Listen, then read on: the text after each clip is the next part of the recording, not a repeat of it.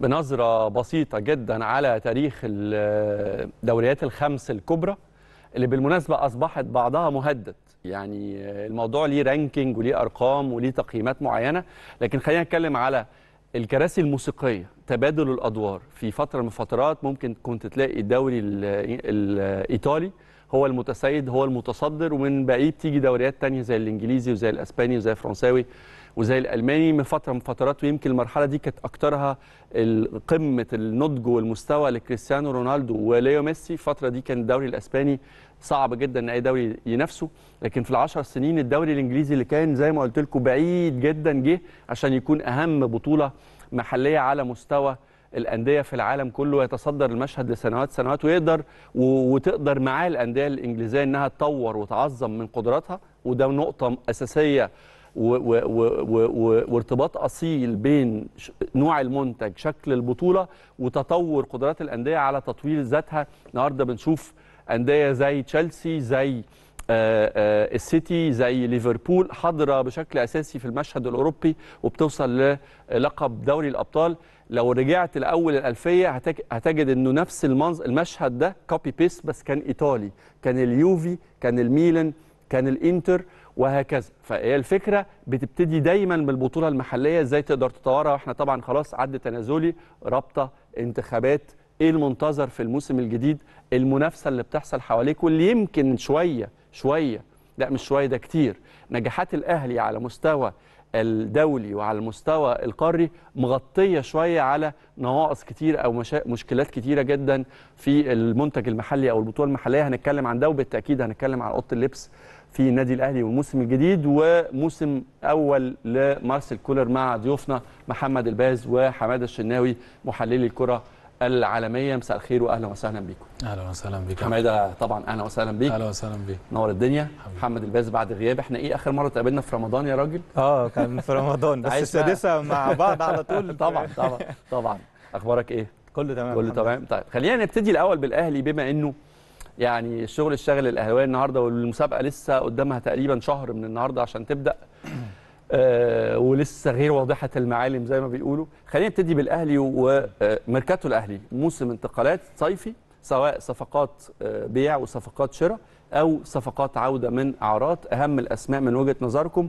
ومين أكتر الأسماء اللي أنتوا تراهنوا عليها إنها مع مارسيل كولر تكون إضافة قوية جدا ل squad الأهلي في الموسم الجديد. تسمح لي أبدأ بحمادة؟ اتفضل. يلا حمادة.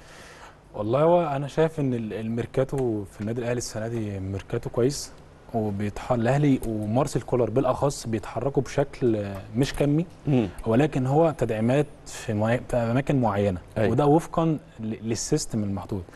هو في طبعا أندية كتير بتروح تشتري كم لعيبة كبير والحاجات دي بتبقى بالنسبة للجمهور مقلقة؟ آه مش مقلقة بالعكس هو الجمهور بيحب الحاجات دي. آه. هو الجمهور نفسه يصحى في يوم يقول لك الأهلي مثلا تعاقد مع 10 لعيبة. آه. ولكن الناس هي فاكرة إن دي حاجة كويسة ولكن لأ. يعني. طول ما أنت عندك آه، قائمة رئيسية من اللعيبة وقائمة هي أحسن لعيبة في مصر فأنا أيوة. مش محتاج إن أنا أتحرك في حاجات كتير. لأ أنا. محتاج أتحرك في حاجات معينة والأهلي فعلا بيتحرك بيتحرك بشكل مثلا class A و class B. وشفنا مثلا الأهلي امبارح تعاقد مع صلاح محسن أو أيوة. رجعه تاني من الإعارة مم. كويس وشفنا كمان الأهلي تعاقد مع إمام عاشور. وشفنا تعاقد مع رضا سليم دول أبرز الصفقات اللي جت طبعا مع كريم نيدفيد والأهلي كمان طيب أنا هقف شوية في حتة الكم والكيف دي يعني حابب أنا عارف إنك في ألمانيا طبعا يعني محدش يعني لا يعلى عليك بس. بالتأكيد طبعا بتتابع الدوري الإنجليزي وبتابع ده. معظم الأندية الكبيرة السنة دي يعني أنا بتابع الميركاتو مش شايف موسم انتقالات من ناحية آه، الكم آه، اللي تقدر تقول عليه يعني الريال باستثناء بيلينغهام مش شايف حاجة آه، تصنع أيوة. الفارق في الريال البايرن باستثناء هاري كين مش شايف حاجة برضو أراهن في مثلا في رغم رحيل طبعا جوندوجان ورحيل رياض محرز لكن أنا بشوف إن لوكاس باكيتا صفقة من العيار التقيل جدا في المان سيتي. كوفاسيتش طبعا CV محترم جدا بس برضه. يعني لما تيجي تتكلم على السيتي كوفاسيتش لا ي... لا يرضي طموح مشجعي السيتي. اسم كبير ومهم وكل حاجة بس يعني ما هوش فبرضه الناس الأندية الكبيرة واللي كمان عندها قدرات شرائية كبيرة جدا ما بتعملش الميركاتو اللي هو بقى بال10 لعيبة وال- والثمان لعيبة وال... بالظبط لأن هو الفكرة بت- بيقوم على ال needs احتياجاتك. احتياجاتك إيه لل squad؟ إيه النواقص اللي عندك؟ إيه اللي أنت. محتاجه يكمل بيه ال- المنظومة كلها. أيوة. الفكرة بتقف هنا. هو أنا مش محتاج إن أنا آه، يعني آه، أستقطب خمسة سبعة عشر لعيبة وخلاص أيوة. من من ناحية الكم وأرضي بيه الجمهور أو أرضي بيه آه، مثلا آه، الإدارة وارضي بيه أي حد. لا خالص. الموضوع بي- بيقوم على تحليل معين. أنا محتاج إيه؟ المدرب شايف هو احتياجاته فين بالظبط. آه، آه، مين اللاعب اللي هيصنع الفارق اللي هيضيف معاه. يعني مثال زي ما زي ما قلت يا أستاذ أحمد مثال مثلا البايرن البايرن السنة دي هو بيتكلم في صفقتين فقط مهمين هاري كين بيتكلم في المدافع نابولي اللي هو آه، ليا أو آه. يعني الراجل آه، الكوري؟ الكوري آه. لأن هو عارف هو عنده مشكلة في آه، قلب الدفاع. آه، دي ليخت السنة اللي فاتت طبعا وبعد حصل شوية إصابات في ال في ال في, ال في الظهير الأيمن في وبعد كده حب إن هو يدعم صفوفه فعارف هو مشكلته فين بالظبط. فتقريبا أنا أعتقد خلال ال- الأيام الباقية ساديو ماني بالظبط يعني فكان ان هو يشتغل. فهاري كين لأن ساديو ماني ما قدرش إن هو طبعا يحقق طبعا طموحات الفريق هو أيوة. قدر إن هو يلعب مرة يتعتمد عليه كتسعة صريح وما قدرش إن هو يحقق دوت يعني مم. ما قدرش يعوض غياب ليفاندوسكي أيوه نفس الكلام اللي هنربطه بالنادي الأهلي بنركز على صفقتين أو ثلاثة مع إعادة مثلا الاثنين لعيبة من المعارين سواء كان كريم صلاح محسن أو كريم. نيدفيد ولكن التركيز كله مثلا على اثنين أو ثلاثة. أنا أعتقد إن الأهلي رايح برضو مركز على صفقة المهاجم اللي دايما أيوة. الكلام عليه. ففي النهاية في نهاية الميركاتو هتلاقي وقفنا على ثلاث صفقات أساسية وفي لعيبة بتبقى مثلا بت- بترجع free أو هكذا. فهو ده الفكرة يعني. طب في في هنا عامل متغير في منتهى الأهمية من وجهة نظري وهو إزاي الأسماء دي هيستغلها أو هي هيوظفها مارسيل كولر بالشكل اللي يخدم فكره وطريقة لعبه والشكل اللي يخدم في النهاية آه، الأهلي واحتياجاته. إحنا خمسة منهم عارفينهم. يعني نيدفيد آه، أكرم أكرم توفيق كريم فؤاد حتى إمام عاشور منتخب مصر وقبل كده الزمالك وبعد كده ميتلاند. عارفين اللعيبة دي وعارفين إمكانياتها فين وعارفين نقط القوة والضعف عندهم. رضا سليم هو بالنسبة لنا المجهول الوحيد. صح. هل تتوقع إنه مارسيل كولر مع اللعيبة دي هيطلع قماشة جديدة؟ حمادة هي... هيطور؟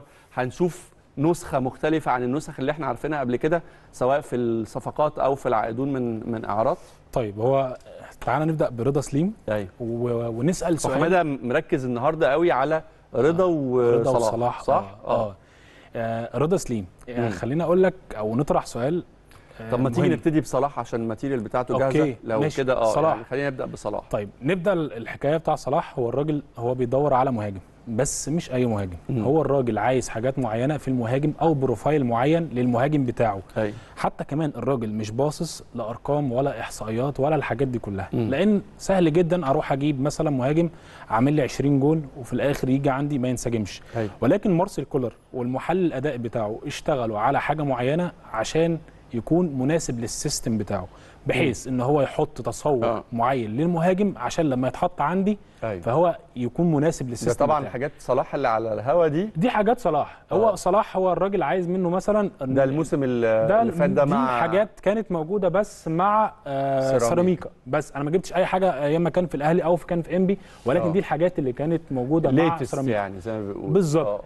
آه. هنا ال ال الفيديو ده أنا بتكلم ممكن على ممكن تلعبوا لنا الثلاث لعبات دول عشان آه. هو فيهم ثلاث نقط. آه، أساسية. حماد حابب يتكلم عليهم طيب الحاجة الأولى اللي كان عايزها إن هو الراجل يكون مهاجم مهاجم آه. يعني إيه مهاجم يعني فينش يعني تحرك جوه ال 18 بالبلدي كده يكون حرامي آه. فبص صلاح محسن هنا بيتحرك صلاح اللي هنا سجل آه صلاح اللي سجل آه. هنا بيتوقع الكورة آه. دي فكرة التوقع إن أنت تكون مهاجم أعتقد دي لازم تكون آه. موجودة في أي حد بص هنا السرعة والتوقع توقع غلط من المدافع وجاب جون.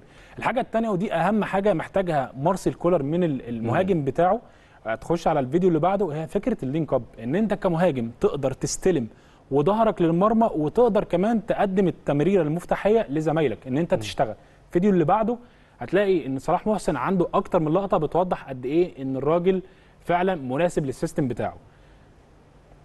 ال- الفيديو اللي بعده مش ده؟ طب نروح الفيديو اللي بعد ده. آه ال link. آه. الفيديو بتاع ال... ال... ده الف... ده ال follow. ده ال follow. لا ان بتتكلم هو على الراجل بيتوقع كويس. بص هنا الكورة دي هنا دي كورة من من الخلف هتتلعب. صلاح اتحرك. بص بيريحها إزاي؟ دي آه. هي الفكرة إن أنا أكسب الكورة العالية. آه آه أنا- وأعمل link up مع الناس اللي تحت أو أيوة. عشان تاخد الكره الثانية هتلاقي حاجة تانية كمان ليه. بص مم. كسب الكره العالية.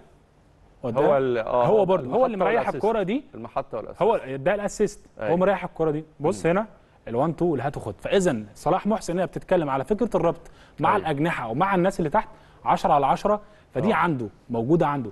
الحاجة آه، الثالثه وهو إزاي بيتحرك وإزاي بيطلب الكورة. صلاح من أذكى اللعيبة اللي بتعرف تضرب الأوفسايد لأنه بيتحرك بشكل قطري وبشكل عرضي. يعني هو من اللعيبة اللي ما بيتحركش بشكل أنا, أنا هنا معلش ممكن لو نرجع بس للكرة اللي فاتت دي مرة تانية أو هي هترجع okay آه، آه، الاستقبال ولا أروع الترقيصة ولا أجمل ال finish بس هو اللي محتاج شغل آه أكيد أكيد هو آه. مش جاي كامل هو بس آه. هو جاي- عنده عنده أساسيات يعني لا،. يعني بص هنا تحركه آه. إزاي بيطلب الكورة في ظهر المدافعين وكسر التسلل وكل حاجة في أكتر من لقطة آه. بنفس الشكل وصلاح محسن لعيب الكورة تحت رجله ليها معنى ال ال الفيديو ده مهم جدا تكمل الحتة دي. في حتة معينة كده بتوضح لك ليه صلاح محسن ما بيقعش في الأوفسايد كتير وبيظبطها.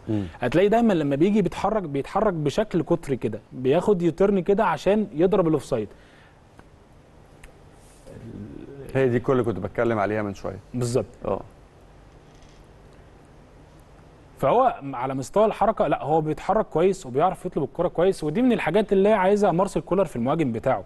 فإذا صلاح محسن هو مهاجم بالنسبة لمارسيل كولر هو مناسب لل system والطريقة أنت بتاعته. شوية على فكرة وخلينا أسمع رأي باز برضو فيها. صلاح من اللعيبة. هي يمكن دي تكون سمة عند معظم اللعيبة المصريين يا محمد بس يمكن في لعيبة بتبان فيهم أكتر. وكنت بدردش في النقطة دي مع حماده ويهمني اسمع الناحية النفسية.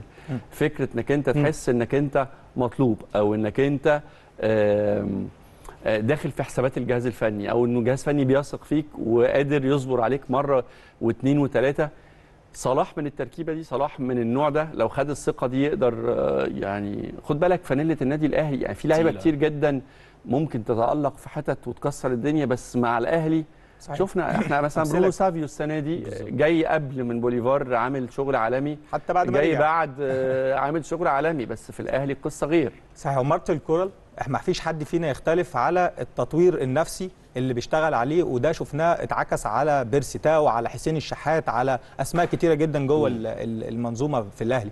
فبنتكلم على صلاح محسن لا هو واخد الثقة أكيد وكلنا ثقة إن مارسيل كولر باختياره لعودة صلاح مرة فيه أخرى شايف فيه الحتة دي إن هو آه. عنده space عنده مساحة للتطوير. مم. عارف إن هو هيوصل بيه لفين بالظبط. زي ما اتعرضت الحالات دلوقتي شفنا آه، لا هو في بعض المواصفات كمهاجم اللي ممكن يعتمد عليها فعلا كولر. أنا أعتقد بالأرقام لو بصينا على الموسم اللي فات في بعض الحاجات محتاجين أنا أنا عارف كولر رايح إن هو عايز يجيبها في مهاجم ألا وهي ال- ال- ال finishing بالذات بال heading بالرأس أيوة، موجود جوه ألعاب الهوا بالظبط. ليه؟ لأن آه. إحنا بالأرقام إحنا عندنا أكتر من 500 cross اتعمل السنة اللي فاتت في آه، في الدوري الممتاز من النادي الأهلي مم. 8 أهداف من الستة 63 هدف. أيوه اقوى خط هجوم. ألعاب ال- 8 أهداف فقط بال head يعني بنتكلم في كروسات أو عرضيات أو سواء كان حتى من كرات متحركة أو كرات حتى ثابتة ما قدرناش نستغلها بالشكل المظبوط. ده ليه؟ لأسباب كتيرة جدا. اولا ما عندناش زيادة ال- العددية في داخل ال 18 في ال box مع الالتحامات الهوية واللعب بال heading. ما عندكش رأس الحربة؟ ده اللي يقدر يخلص منتهى الصراحة يعني دايما لما بتيجي تتكلم على مهاجم تسعة مهاجم صندوق الناس على طول الجمهور يقول لك أنا عايز style آه، آه، امبنزا آه، فلافيو. آه، آه، آه، آه، لابا كودجو آه،. عارف الق- القطعية بتاعت عمرو زكي مثلا ال- الهجام اللي هو بيخش التحامات عنده قوة بدنية صحيح. عنده take off عالي يجيد تماما ألعاب الراس طبعا دي القطعية اللي بيفكر فيها جمهور الأهلي تقريبا يعني تقريبا يعني هو مش بس على فكرة آه. جمهور النادي الأهلي هو مارسيل كولر على فكرة بيفكر أيوة. في القطعية دي ويعني وبعض الأسامي المطروحة بتوضح إن مارسيل كولر رايح للقطعية دي حتى كمان زي ما قلت لك من شوية إن الراجل مش باصص لفكرة الأرقام يعني مم. مش مهم عندي المهاجم وهو جاي أو قبل ما يجي يكون عامل أرقام إيه؟ خزعبليه آه. ولكن المواصفات دي لما تيجي وتتحط في ال system بتاعي في وجود لعيب مثلا زي علي معلول في وجود مثلا لعيب زي رضا سليم في وجود لعيب زي حسين الشحات زي الناس اللي بتقدر تصنع كم فرص جوه ال 18 أعتقد إن أي مهاجم حتى لو هو مستواه 50% مثلا يقدر مع كم الفرص دي يعمل له أرقام كتير في داخل أيوة. الموسم. هو اتكلم في ده في كذا مؤتمر صحفي إنه آه، هو سعيد بإنه إحنا قوة تهديفية وأفضل هجوم على مستوى أفريقيا وعلى مستوى الدوري المحلي لكن ال- الصداع اللي عنده هو إنه الأرقام اللي بنسجل أو الأهداف اللي بنسجلها آه، نسبتها مش مقبولة مقارنة بعدد الفرص اللي إحنا الفرص. عندنا ال- ال- الكلام على الاكس جي إحنا المفروض طبقا للأرقام فوق ال 100 105 هدف كان ممكن الأهلي يحرزهم هذا العام من كمية الفرص الكبيرة اللي ضائعة.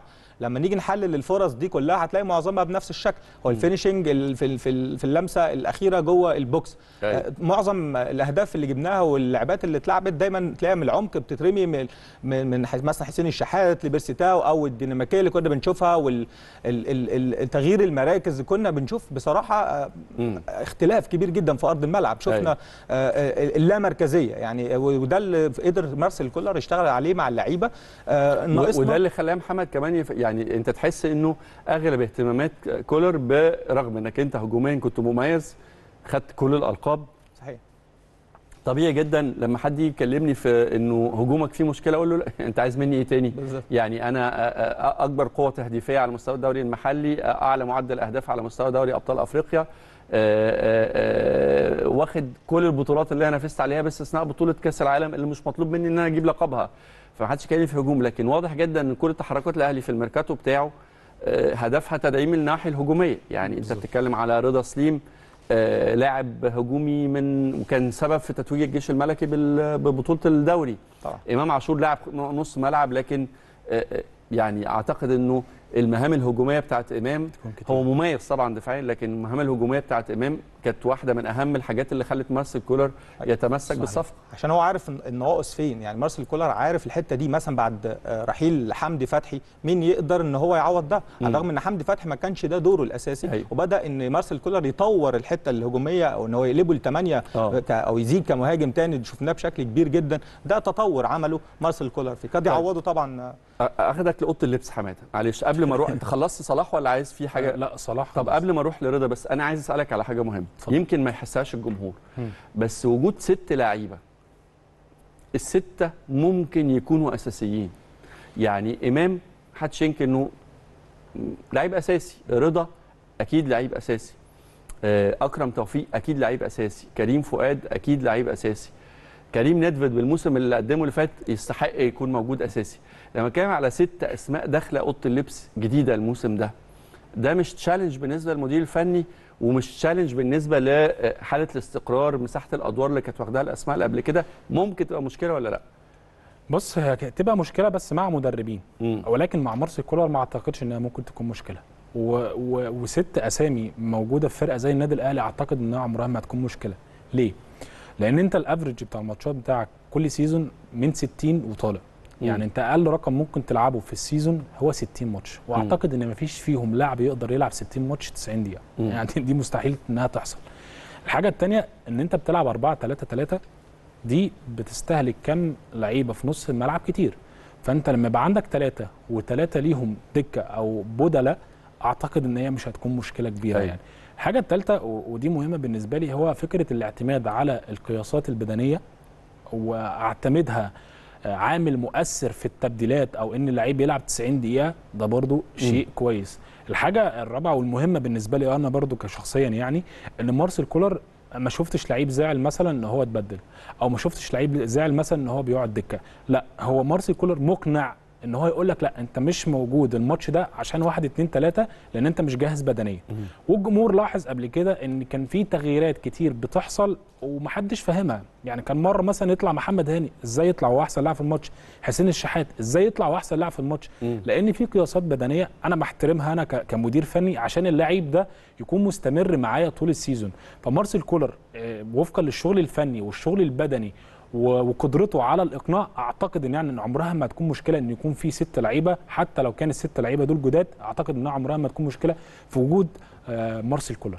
يعني أهم إضافة هجومية من وجهة نظرك يا باز في الموسم ده أنا شايف إن كل واحد له دور هجومي بشكل كبير جدا يعني مم. لو بنتكلم على رضا سليم حتى وبنتكلم على إمام إحنا إيه ناقصنا في رضا كان ليه تركيبة كده قماشة مع الجيش الملكي تتوقع إنها آه، تكون نفس التركيبة نفس الدور مع الأهلي ولا ممكن مع مارسيل كولر تلاقي رضا سليم مختلف؟ هو اختيار رضا سليم كانت أصلا قائمة على نفس ال- القماش أو نفس طريقة اللعب اللي هو أيوة. كان بيلعبها. لأن هو عارف هو هيضيف معايا فين. مم. الراجل في المساهمات في الأسيست في في, في إحراز الأهداف عالي جدا بيساهم بشكل كبير جدا. آه. على الناحية الدفاعية أيضا الراجل بيلعب خط بنشوفه بيلعب جناح يمين جناح شمال. عنده المرونة ال- التكتيكية نقدر تعتمد عليه في أكتر من مكان. فأكيد إضافة هجومية ل- لهجوم الأهلي هيبقى يكون بشكل شرس أعتقد كمان أيوة. بخصوص إحنا كان ناقصنا برضو يعني زي ما وضحنا الكرات العالية وال- والضربات الرأسية ناقصنا التسديد من خارج المرمى مم. مين أكتر حد يقدر يعملها دلوقتي في ال squad الجديد هو طبعا إمام إمام أيوة. بيمتاز بالحتة دي التسديدات القوية من خارج المرمى عنده دقة عالية جدا فيها فهيقدر إن هو مع الزيادة الهجومية راجل box to box بيقدر برضه يساعدك في الناحية الدفاعية بس. هنتكلم على الناحية الهجومية هو عارف ناقص ناقصني إيه بالظبط فبالتالي إن الصفقتين هيكون ليهم دور كبير جدا الناحية الهجومية وقد يلعبوا دور كبير جدا في الكونفرجن أو تحويل الفرص ال- ال- ال- الكم الكبير دوت لأهداف. طبعا.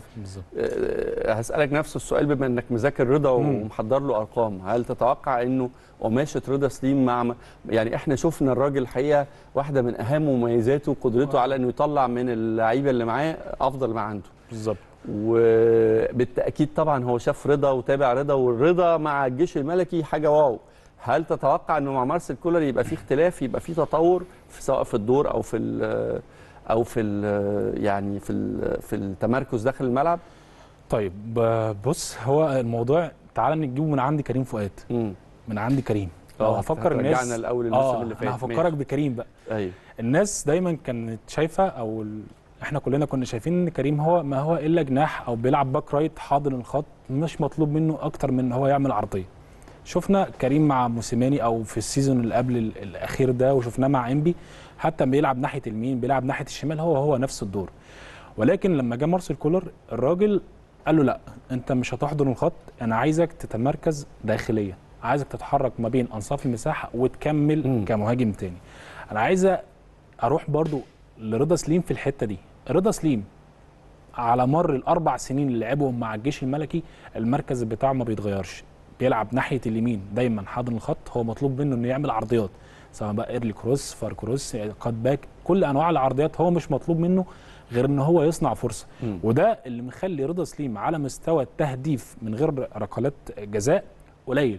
أيوه. لكن إمكانياته على فكرة في التسديد كويسة جدا. ولو هنروح للأرقام بتاع رضا سليم مقارنة بلعيبه النادي الأهلي أو أجنحة النادي الأهلي والمهام المطلوبة منهم مع الأهلي هتلاقيها مختلفة تماما. عايزك تبص إن رضا سليم عدد اللمسات ال- اللي إحنا بنشوفه ده هو مقارنة بين أرقام رضا سليم وأرقام أجنحة النادي الأهلي. بالظبط. فين بقى؟ آه. معدل لمساتهم للكوره الأخراني؟ في الموسم الأخير ده آه. معدل لمساتهم في الكورة في الدوري. في الدوري سواء كان المغربي أو المصري جوه ال المنطقة. 18 جوه ال 18 جوه ال 18 جوه البوكس. هتلاقي رضا سليم عامل 35 لمسة بس جوه ال 18 امم بمعدل 1.5 في 90 دقيقة. أيوه بمعنى إن كل 180 دقيقة بيعمل ثلاث لمسات جوه ال 18 رقم آه. طبعا بالنسبة للاعيبة النادي الأهلي قليل جدا. هتلاقي مثلا أحمد عبد القادر عامل 69 لمسة جوه ال 18 بمعدل 5 كل 90 دقيقة. بيرسي تاو 61 حسين الشحات 61 نفس المعدل. عندك كمان آه علي معلول ال back left مش الجناح عنده 35 لمسة هو نفس معدل رضا سليم. تعال نعمل matching بقى مع الأرقام دي ونحط بالك من حاجتين برضه. يعني يهمني جدا وأنا بستعرض أرقام زي دي وأسمع رأي الباز برضه فكرة إنه الفعالية بقى. يعني أنا لمست آه لكن finish ت ب assist أو بهدف قد إيه؟ دي مهمة. دي- نمرة اتنين بالظبط. إنه اللعب للأهلي غير اللعب للجيش الملكي. يعني عدد مباريات الأهلي عدد البطولات اللي بيخوضها النادي الأهلي قدرات النادي الأهلي الهجومية سيكولوجيه النادي الأهلي مختلف. تسمح لأي جناح عنده إنه يوصل بكسا... بغزارة فاهم قصدي إيه على فكرة ده عامل مساعد مش أيوة. عامل آه، عائق بالنسبة لرضا سليم أيوة، أنا أيوة. رضا سليم فاهمك آه طبعا بالظبط. آه، آه. هو المعدل- بيلعب الراجل جايب الدوري المغربي برضه مش أي دوري يعني آه، لوحده لوحده. حرفيا هو الراجل مع مع مع الجيش الملكي. على فكرة عامل 27 مساهمة ما. بين أهداف وما بين أسيستات بس أنا بتكلم في حتة هنا بتكلم إن شوف كم اللمسات جوه ال 18 معناها إن رضا سليم هيكون قريب للمرمى كتير أيوه يعني هو كل ده وهو أصلا بعيد عن المرمى بعيد عن بعيد عن بعيد الصندوق عن عموماً. البوكس يعني آه. كم الأهداف لما وكم يشتغل. بطريقة لما مارسيل يشتغل بقى هيبقى مطالب منه. التواجد زي كريم ما انت ابتديت كده لما بالظبط زي ما كريم. بالظبط كان بعيد عن الصندوق ولكن لما قرب جوه الصندوق إحنا شفنا كم مساهمات مش طبيعي كريم بالنسبة له أصلا عمره ما سجل هدف أصلا قبل مارسيل كولر النهارده كريم فؤاد عنده 8 مساهمات تهديفية في معدل دقيقه ما يكملش 1000 دقيقة. هو إحنا بانيين تصوراتنا لو إحنا بنتكلم عن الميركاتو على version 2 من مارسيل كولر. أنا دايما أول season لأي مدرب بع- بعتبره موسم تعارف. تعرف على النادي والجماهيرية والبطولات والمسابقات واللعيبه والإدارة فاهم قصدي؟ season 2 أكون حطيت إيدي على كل الأمور قريت كل ال ال القماشة اللي معايا وبناء عليها أبتدي يبقى عندي المساحة والحرية إن أنا أحضر أشوف أنا محتاج إيه مين مش محتاجه مين محتاجه آه، آه، آه، التقييم للعيبة اللي موجودة معايا وهتكمل معايا الموسم الثاني كل واحد إيه بتاعته أشتغل عليها. عرفت أنا لما هنافس في أفريقيا بنافس مين؟ بنافس في مصر فاهم؟ ف season 2 بالنسبة لي هو season 1 الفعلي. إحنا متوقعين إنه مارسيل كولر يقدم الأهلي فرقة الأهلي وكره الأهلي اللي إحنا شفناها الموسم اللي فات ولا إحنا متوقعين نشوف حاجة تانية خالص. أنا عايز أجاوب السؤال بقول لا هو مارسيل كولر قبل ما يجي للنادي الأهلي أو يقرر إن هو يدرب النادي الأهلي ذاكر النادي الأهلي بشكل كويس جدا. آه. آه. المدرسة السويسرية شوية مختلفة شبيهة بالمدرسة الألمانية. عارفة إن هي أنا رايح أدرب النادي الأهلي وضع النادي الأهلي فين؟ جماهيريا افريقيا آه نادي بطولات عارف إن الجمهور ما بيرحمش عارف كل التحديات والضغوطات بس اللي بس بس ما شافش المنافسين أو ممكن يكون ذاكر الأهلي لكن ما ذاكرش المنافسين بتوع ما ذاكرش منافسينه في في أفريقيا وما فهمش طبيعة المنافسة في ملاعب. أفريقيا وما فهمش طبيعة المنافسة في الدوري المصري ولا شاف التحكيم في الدوري المصري ولا شاف الملاعب. فاهم قصدي؟ يعني أنت ما ما مسكتش كل أوراق اللعبة أو كل كروت اللعبة في إيديك. بس ال- ال- الجميل إن هو ذاكر اللعيبة نفسها الأهلي نفسه ال squad نفسه. مم. الدليل إن إحنا شفنا قبل كده في الموسمين اللي قبل كده حتى في آخر موسم مع موسيماني كمية الإصابات والمستشفى الأهلي اللي دايما كنا بنشوفه. أيوة. ما شفناش الكلام ده ليه مع مارسيل كولر؟ ليه ما شفناش ده؟ لأن هو فعلا اشتغل على القياسات وعشان كان البدنية. معاه راحة برضه موسيماني عشان ما نظلموش. موسيماني ما كانش بيريح. موسيماني المواسم كانت يعني كلها موسيماني جه من الدار للنار على قبل نهائي أفريقيا مع الوداد وكمل مع الأهلي continuous ما وقفش لحظة. آه، آه، آه، كولر جه على لعيبة واخدة قرار من مجلس الإدارة براحة من قبل ما ال season اللي فات ينتهي وإلى حد ما يعني في حالة gap أو فجوة أو يعني break بين المواسم. ال- أعتقد ده برضو أثر إيجابي. قياسات بدنية اتعملت. شفناها شفناها أثناء الموسم وض- وضغط أيوة. المباريات برضو إزاي إن هو قدر يشتغل بال rotation بشكل أكتر من رائع ما هو. ده برضو إنه يكون عندي في كل position وكل مركز أنت أكتر من اتفرجت على شغله في ألمانيا في مع, مع النمسا الفريق اللي مع المنتخب مع منتخب النمسا وكان بعض. الأندية في آه. المانيا هو يعني بيشتغل بنفس الطريقة هو راجل أيوة. فاهم هو بيشتغل عليه بالظبط. دايما بيشتغل على العامل النفسي. هو قريب جدا من اللعيبة. يعني في أحد ال- البرامج تقريبا كنا مع حضرتك في في أحد الأساطير الألمانية واتسأل السؤال إيه الفرق ما بين فايلر وما بين ومارسيل ومارسيل كولر. قال لك أيوة. إن فايلر شوية ممكن يكون ممكن يكون شوية tough شوية عنده الحتة اللي هي بيشتغل عليها النفسية مع اللعيبة شوية مش موجودة زي مارسيل أيوة. كولر. أيوة. مارسيل كولر عارف هو بي- بيشتغل نفسي إزاي. شفنا ده مع يورجن كلوب شفنا ده مع مع مدربين آه، توخل حتى في مدربين كبار نفس المدرسة الألمانية والسويسرية بتقدر إن هي تشتغل على عامل معين عند اللعيبة. إزاي؟ آه، زي ما قال الشناوي دلوقتي حتة ال- ال- اللاعب غير ال mentality عنده إن هو بدأ, إن هو يقبل عدد الدقائق المشاركات خلاص أنا بقيت أشتغل زي أوروبا. ما عنديش بقى مشكلة أنا بشتغل بالدقائق دلوقتي أكون جاهز. موضوع ال rotation اللي شفناه ده كله بيقول لك إن هو اشتغل بشكل مظبوط جدا ذاكر الأهلي بشكل كويس جدا عمل التحليل بتاعه على كل العوامل دي مش بس الناحية الفنية يعني بنتكلم على العوامل البدنية النفسية يعني الذهنية أنت شايف إن ده season 2 مش season 1 عايز أنا أنا بالنسبة لي عندي بقى 2. التحدي في آه. كمية ال- ال- البطولات والماتشات اللي جاية ف يعني أنا مش عايز أقول لا أنا أقدر أحكم على مارسيل لا إحنا حكمنا على مارسيل كورة بشكل كويس لا لا جدا دي أكيد ما في ما فيش ما فيهاش شك. آه يعني. أقصد أقوله إنه هل هل الراجل تقدر هل خليني rephrase أو أعيد صياغة السؤال هل مارسيل كولر قدر يطبق فكره أو طريقته أو أسلوب اللعب اللي هو عايز يقدم بيه النادي الأهلي في ال season مع كامل الاحترام للفوز بالألقاب وأنا بتكلم على أسلوب وفكر أسلوب. مدرب في الملعب. هل قدر يطبق ده بنسبة 100% ولا في حاجات منعته ومنتظر إنه يقدر يعملها مع ال season اللي جاي؟ هو في حاجات منعته بس هو يعني خلينا نقول إن هو طبق من 60 ل 70% من فكره اللي كان شغال قبل كده. أيوة. سواء أنا أنا اتفرجت عليه مع بازل في أكتر من ماتش. هو ال system قريب جدا. ولكن برضه خلي بالك طبيعة المنافسة مختلفة مم. طبيعة الأجواء مختلفة حتى كمان الطابع الفني والتكتيكي لأفريقيا مختلف جدا عن سويسرا وعن. وعن ألمانيا وعن وعن النمسا. وعن مع- مختلف عن كل الأماكن لأيه لأن مثلا هنا في أفريقيا أنت في حاجتين أنت لو ضمنتهم أنت أعتقد إن أنت ممكن تاخد أي بطولة اللي هي الكرات العالية والكرة الثانية. أعتقد إن أنت لو ضمنت الحاجتين دول أنت ممكن تاخد وطبعا الكرات الثابتة ضمنت الثلاث حاجات دول أنت ممكن تاخد بيهم بطولة الوداد صعد للنهائي بالطريقة دي أيوة. فالأهلي مثلا الوداد السنة دي ما كانش في أفضل لا، ح- حالاته رغم كده وعانى معاناة شديدة جدا على مدار البطولة جد من بدري على فكرة مش بس قدام كا... م- قدام سان داونز ومع ذلك تمكن من انه يوصل لل بالظبط النهائي. فهو الراجل على المستوى الفردي كان بيتطور يعني هو مم. كان بيتعامل وكان بيتكيف بشكل وأنت شخصيا. عانيت يعني انت في صحيح. مرحلة المجموعات عنيد آه، عانيت كان في آه، آه. بالظبط. فهو الراجل تطور يعني واحدة واحدة ووصل للبيك بتاعه في فترة إحنا كنا شفنا متعة أداء وشفنا كمان نتائج في ثلاثيات في رباعيات لا مم. وكمان المنافسين بتوعك. يعني مش أي حد. فأنت الراجل طبق فكره. آه طبق فكره طبعا بنسبة كبيرة جدا. ال- الموسم الجديد هيعمل إيه؟ لا الموسم الجديد أنا شايف إن الموسم الأولاني هيشكل ضغط وعامل كبير عائق قدام مارسيل كولر لأن طبعا التوقعات عليت لما أيوة. أنت في أول season ولسه مش عارف الأجواء ولا عارف طبيعة اللعيبة وعملت الشغل ده وعملت. الشغل ده أمال آه. ال season الثاني أنت هتعمل إيه مم. آه ده طبعا ده, صحيح. ده ده سؤال صحيح. بيطرح طيب آه، هو إيه اللي حصل لتوماس توخيل صحيح أنا نسيت أسألك عشان كنت جبت سيرته كده وأنت بتجاوب على السؤال بعد الهزيمة بعد آه لايبزيج. شايلهم ثلاثة السوبر. في, في السوبر الماني آه هو في كلام- كين راح ألمانيا ياخد, ياخد- بطولات و...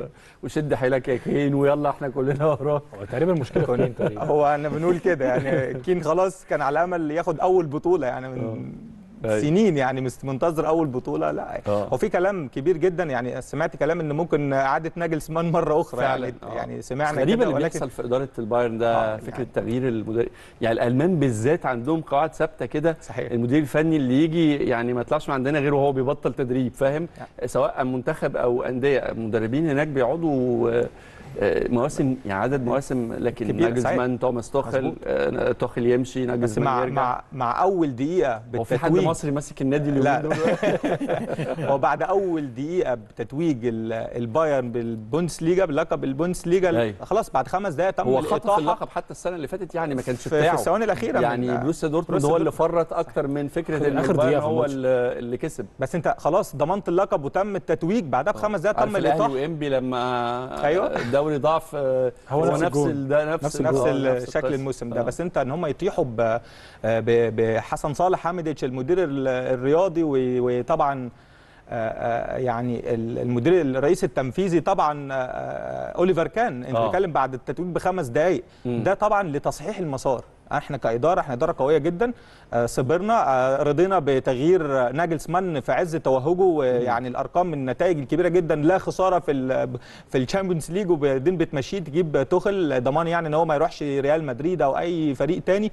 آه لا أنت غيرت ال system. يعني قدرت إن أنت تبوظ ال ال أيوة. ال المنظومة بشكل مختلف. هم صبروا عليه. خلاص ضمننا اللقب بالسلامة. خمس دقائق شكرا أوليفر كان. شكرا أوليفر كان. حسن صالح صح؟ حميديتش في نفس آه. الدقيقة. أيوه. وبدأ إن هو يعيد بقى توازن تاني وطب لكن هم في ثقة كبيرة في توخل للأمانة يعني هو مم. يعني هو الكلام ده كلام إعلام ما أعتقدش إن هي... هيعملوا نفس الغلطة آه، ويجيبوا والسوبر ناجلسمان برضو تاني ما تقدرش تحسبها يعني كتير. بطولة شفنا السيتي وشفنا فرق كتيرة بتقع في السوبر أو ال pre أيوة. season بيبقى فيه شوية دول البطولات الدولية اللي هي الودية ديت وشفنا آه، آه، توتنهام شفنا حتى الماتش الأخير أمام برشلونة. يعني بطولات بتبقى شوية نقدر نقول حتى السوبر مش البطولة القوية قوي هناك في ألمانيا زي الكاس. تلاقي- داي- دايما تلاقي البايرن ميونشن مش تركيزه هنا أكتر تركيزه. تشامبيونز ليج والبطولة الدوري طيب أروح معاكم للميركاتو في على مستوى الدوري شوية.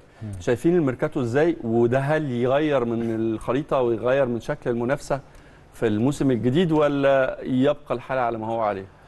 لا طبعا يعني طبعا خريطة التعاقدات الموسم ده يعني خريطة هتغير طبعا في المنافسة أيوة. بشكل كبير. إحنا شايفين بيراميدز عاملة صفقات كبيرة جدا. يعني جابوا ثلاث لعيبة من من فيوتشر تقلوا جايبين كمان مهاجم أجنبي.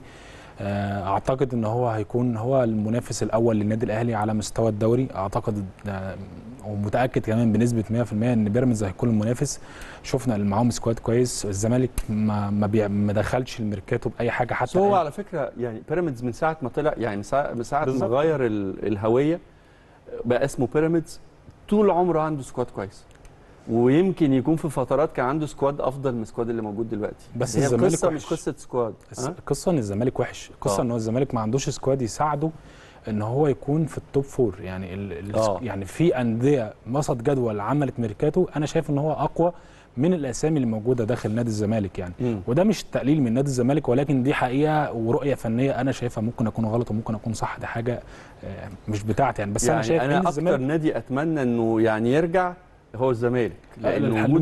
الزمالك في المنافسة يعني سيبك من التتويج وإن أنا يهمني إن الأهلي يكسب طبعا اللقب والبطولة لكن ال- البطولة نفسها بيبقى فيها ليها ليها طعم تاني طبعا أيوه أهلي وزمالك؟ آه، طبيعي آه، يعني بس أهلي. وزمالك آه، يعني أجمل الدوريات اللي إحنا شفناها لما كان أهلي وزمالك وإسماعيلي التريو ده بينافسوا. مع بعض يعني ما يبقى في أهلي وزمالك ويخش معاهم بيراميدز زي ما أنت بتقول عامل ميركاتو كويس يخش معاهم طبعا الإسماعيلي صعب صعب الإسماعيلي بس يخش معاهم مثلا آه، اتحاد يخش معاهم آه، زد متوقع متوقعين حاجة. لزد السنة دي زد يعني لو هو- كان موسم كويس بالنسبة لي يعني آه. أعتقد إنه يكون وسط جدول ويهرب عن دوامة الهبوط آه لازم. أنا اشوفه في منتصف جدول. الجدول بالظبط يعني وبالنسبه لي بيراميدز مش جديد إن آه. استقطاب لعيبة وصرف مبالغ كبيرة بشوفها كل سنة يعني تقريبا آه بيختلف شوية من المراكز ولكن أيوة.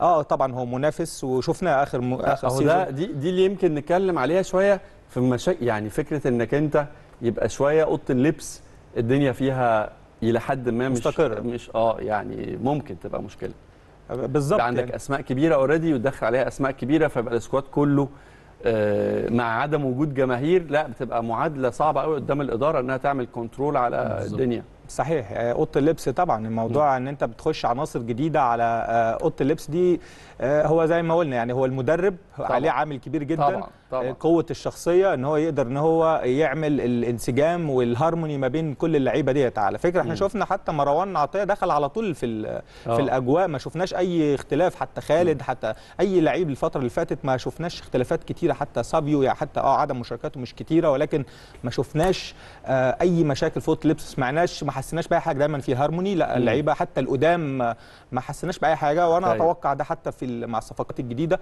لا هو الأهلي منظومة معروفة حتى داخل أوضة اللبس بره أوضة اللبس إدارة قوية جدا تقدر إن هي تحكم آه، وتسيطر على أي حاجة. طيب خليني آخد منكم خطوط عريضة بما إن إحنا بنبدأ موسم جديد والكلام عن الرابطة وانتخابات واحد الأول تقييمكم للموسمين يعني هل شايفين الرابطة نجحت آه، ونجحت لأي مدى؟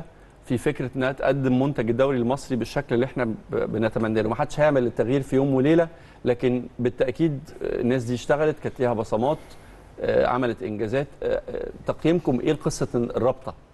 وجود وجود رابطة بتدير المسابقة والبطولة بتاعة الدوري المصري. عشان أكون أمين بصراحة الرابطة اشتغلت يعني. مم. اشتغلت وعملت كل حاجة تقدر تعملها. أيوه. ولكن طبعا مش ده المتوقع لأن إن الدوري المصري أو المنتج المصري عموما هو مش محتاج رابطة تشتغل. هو. محتاج كل الناس تشتغل عشان تطلع منتج كويس. يعني إحنا محتاجين جمهور محتاجين آه، التصوير يكون كويس محتاجين آه، اخراج كويس محتاجين تحكيم كمان كويس. فكل ده الحاجات دي مش هتقدر تعملها الرابطة لوحدها ومش هتقدر تعملها في يوم وليلة. أيوه. ولكن كجهد السنة اللي فاتت والسنة اللي قبلها لا بكل أمانة بصراحة ال- ال- الدوري بيحصل فيه تطور حتى لو كان التطور ده بطيء. ولكن هو موجود آه.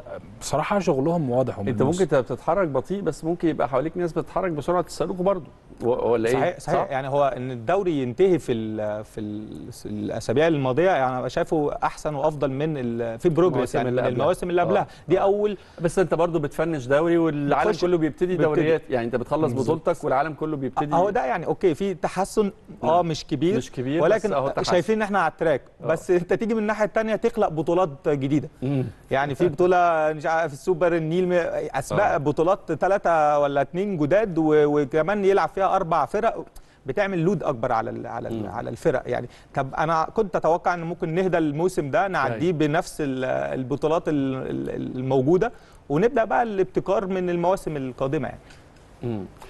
حمادة شايف الموسم اللي جاي أكتر حاجة ممكن تتحسب آه، أو تحددها ك target للبطولة إيه يعني لو عايز تاخد الدوري وتطلع بيه هو بالتأكيد أنت عندك مقاومات كبيرة عندك أندية عندك تاريخ عندك جماهيرية وشعبية غير طبيعية لا تقارن بأي دولة في أفريقيا ولا في الوطن العربي. آه، عندك آه، قماشة ومواهب آه، عندك بطولات وتاريخ. يعني إزاي تاخد ال product ده أو ال- ال brand بتاع الدوري المصري ده وتطلع بيه لفوق؟ إيه اللي أهم حاجات اللي تحصل من وجهة نظرك؟ الحاجات اللي تحصل هو السؤال بس يطرح أو أنا عايز أبيع المنتج بتاعي ده لمين؟ أو أديه فين؟